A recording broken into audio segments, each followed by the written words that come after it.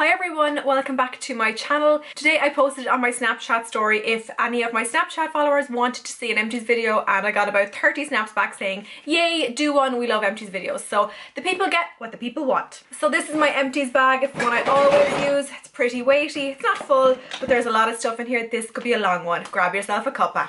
I'm just gonna pull things out at random. First is Ginger & Co. Bathing Beauty Moisturising Bubble Bath and Wash. I didn't use this as a bubble bath because I hate baths. I use this as a shower wash and it was fine. It didn't dry out my skin. I liked it. Would I repurchase? Uh, probably not. I didn't purchase it in the first place. It was sent to me. But I would probably go for something a little bit more moisturising because my skin gets so uber dry. So it was nice, but I would go for something even more moisturising than this next time. Another shower product, and this is the Original Source Vanilla and Raspberry Shower Gel. Okay.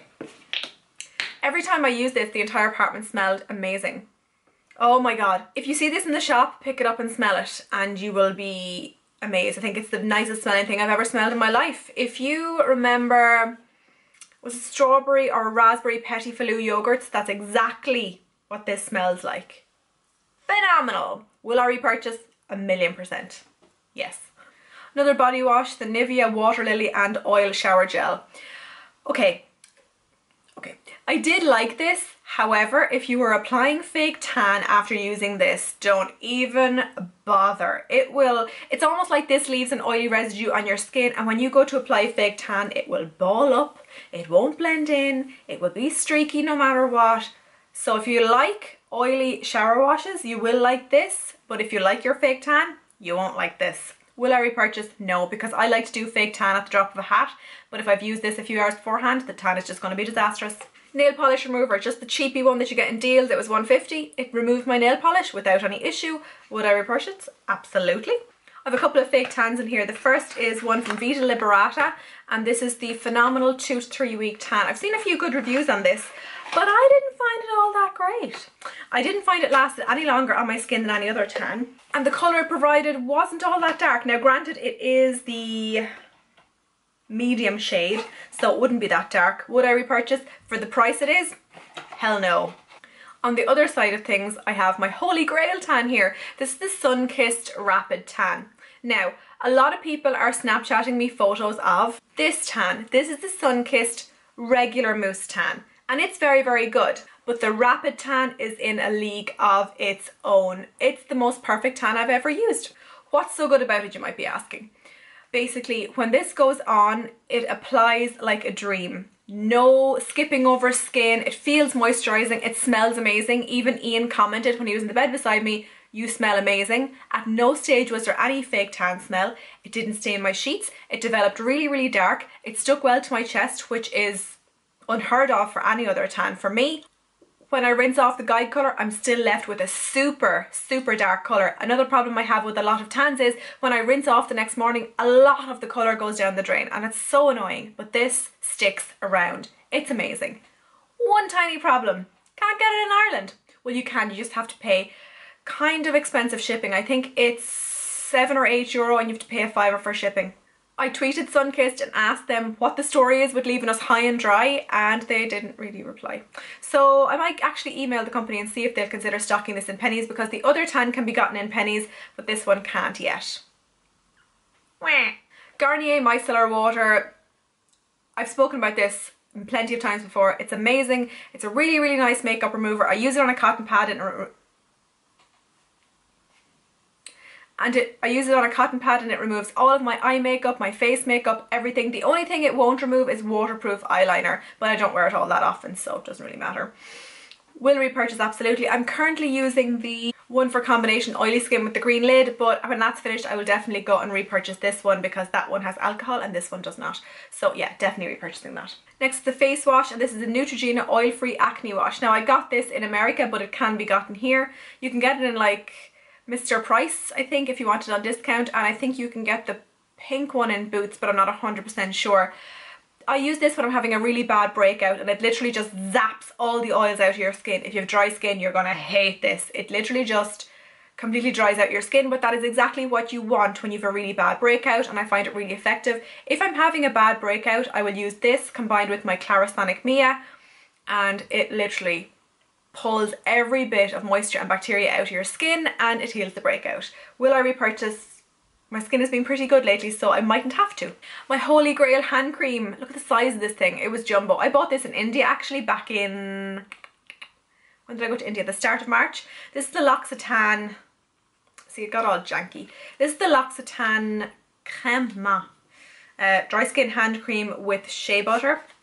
Love this stuff. It's my favourite formula of it as well. It's expensive. It's about 30 euro for this.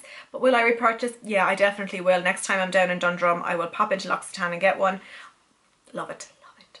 Makes my cuticles look like they never ever look. Just so moisturised and healthy. As is the norm for all of my empties videos, I have the Blistex Relief Cream times feckin' three. And there's a fourth one about to join them now in the next couple of days. If you have lips, you need this. no, seriously, if you have dry chapped lips that never seem to get moisturised, these are amazing. They can be difficult to find. Boots don't sell them. Dunnes Stores does. Tesco does not. Independent chemists are your best bet. They're three euro 80 cent, but worth every penny and they're amazing. Slather on loads before you go to bed and you will wake up in the morning with perfectly healed lips. The Boots Tea Tree Witch Hazel Toner. I actually quite like this. I use this in the mornings before I apply my makeup. Well, after I've cleansed my skin, before I apply my moisturiser and then my makeup and I find this kind of helps keep my oils at bay during the day. And then at night time I use a more nourishing toner. Yeah, I like it and for the price, I mean you can't go wrong. I have a second one of those toners. My favourite cotton pads, goes without saying. So I went through a phase there where my regular deodorant wasn't really working and then I remember Samantha Sherman mentioned that she uses men's deodorant. So I said, hmm, I might give it a go because I actually quite like men's scents. So I tried out the Sanex men's deodorant. It was on offer in Boots, I think. And this smells, like I really like man deodorant smells. And it worked really, really well. So I would definitely recommend if you're having issues with female deodorant, try a men's one. They smell really good and they work a lot better.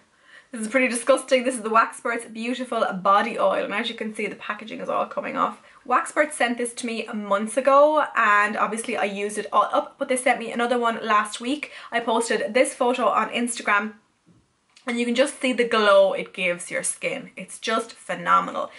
But it doesn't feel greasy on the skin at all. It just feels like you're perfectly moisturised.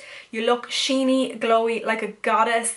And if you fake tan on and you put this on over it, oh my god, it just looks incredible, absolutely amazing, and it smells phenomenal. It smells like lavender. Oh, it just smells like a beautician. It just smells exactly like a beautician's. Highly recommend it. It is, I think, either $9.99 or $12.99. Gorgeous. While we're talking about Waxperts, I'm going to mention the Wonder Pads. These are so multi-purpose. Will I repurchase these? Two steps ahead of you. These are specifically designed for ingrown hairs. So you take the pad, I'll show you one from my new pack. There's a textured side and a smooth side. That's the textured side and then obviously that's the smooth side. So if you have an ingrown hair or an area of ingrown hair or razor burn, you take the textured side and rub that over the area and it will draw out the ingrown hair and it will ease any discomfort or pain in the area. But what these are also amazing for is extreme breakouts and what I use them for most often is dodgy fake tan. If I have like really bad fake tan on my wrists, I'll take a pad and just rub it gently over the area and it literally removes the tan. There are so many uses for these, that's only three. Amazing amazing. Love them. Another regular in my empties videos is my favorite eye cream and I even cut this one open. It's the Boots Simply Sensitive Hydrating Eye Cream. Again if you've been watching my videos for any length of time you'll know I adore that. I've gone through probably I reckon 15 or 20 of them. They're only a few euro and they've made the world of difference to my under eye area. And if you're looking for a good solid eye cream but want to stay within a budget I would definitely recommend this one. I finished two moisturisers. The first is the Clinique Super Defense SPF 20 I went up to the Clinique counter in House of Fraser specifically for another moisturiser and the sales associate told me that was wrong for me and sold me this one instead basically.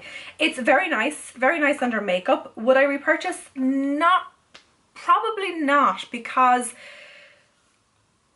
while it was good and it has the SPF and all in it, I just feel like you can get the same thing much more affordably. Like I think this was 38 or 39 euro I prefer to get something comparable in Boots for like 12 or 13 euro. Am I crazy? It was nice. If I had the money, I would repurchase, but I don't have 39 euro to spend on a moisturiser every couple of months.